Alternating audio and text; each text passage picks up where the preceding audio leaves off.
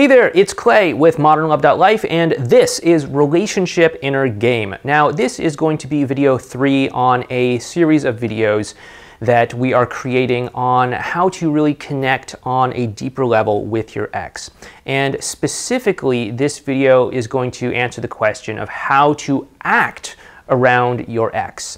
And whenever somebody asks me, how should I act around my ex, my instinctive reaction is to tell them, don't act around your ex. And uh, the, the reason that I say that is because oftentimes people try to put on this, uh, this act, this display around their ex to try and seem, oh, so cool. You know, when, when actually they're like freaking out inside or nervous as hell or something like that. And they want to, you know, come across as like, you know, the alpha male or the person who doesn't care at all. But, but really, the most important thing for you to do is not to put on an act around your ex. The most important thing for you to do is to be completely genuine and authentic and forthright with, uh, you know, whatever your experience is. Now, there are a lot of ways that people can absolutely screw this up. You know, for example, the whole begging and pleading and promising you'll change and saying, I'll do anything to get back together with you kind of stuff. Although it is vulnerable, it's not exactly a kind of vulnerability that is really desirable to display to someone else because that vulnerability is using the other person as a means to an end for you to get what you want. So, for example, if I want to feel happy and you need to get back together with me in order for me to feel happy, and I come to you and say, like, I want you to get back together with me so that I can feel happy again, that's not going to feel good to the other person. That's going to make them want to pull away because uh, they don't think that that, that I actually care about their well-being. They think that I'm just using them as a means to an end to feel better about myself. Okay, so that is um, uh, not the kind of vulnerability, not the kind of transparency that you want to have with your ex. What you want to do is you want to think about what it is you actually care about. So for example, a lot of people will say, well, I just want to get back together with my ex. But the real truth is that you probably don't just want to like be back together in a relationship with your ex. You probably don't want to just go onto Facebook and you know update your status to in a relationship with the person I used to call my ex.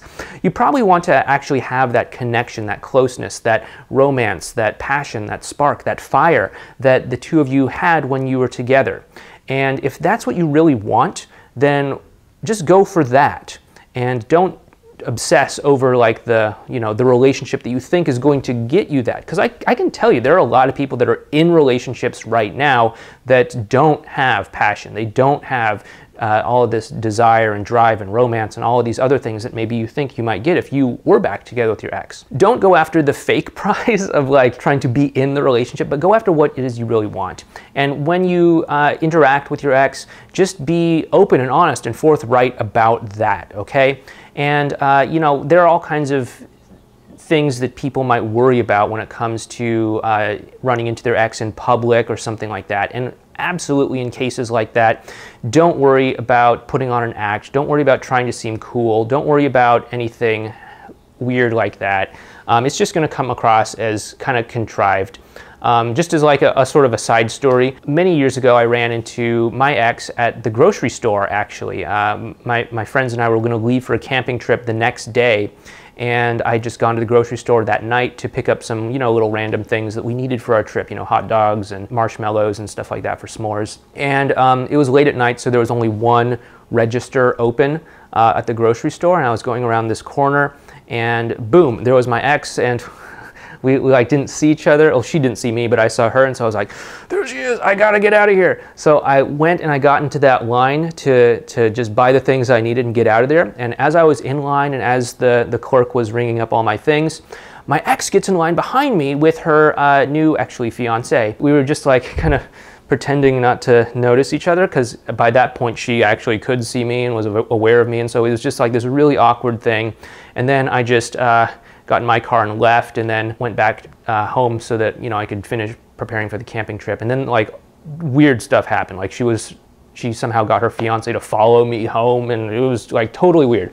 But anyway, don't do that. don't do that. Don't try to act cool. Don't try to act like you didn't see your ex. Don't try to put on some sort of like oh, I, I didn't notice you were there, go away. Uh, don't put on any kind of BS act like that. Just be 100% open, honest, and forthright about how you actually feel in a good, positive way without using your ex as a means to an end, okay? So that is how you should act if you were going to act around your ex, but don't act. Just, just be completely honest and open and forthright about who you are and what your experience is, okay?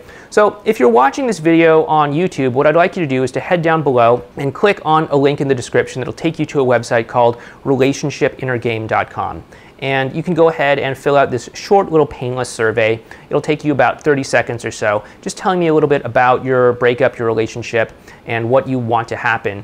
And then I'll just start sending you some advice and strategies and tips on what to do in your situation.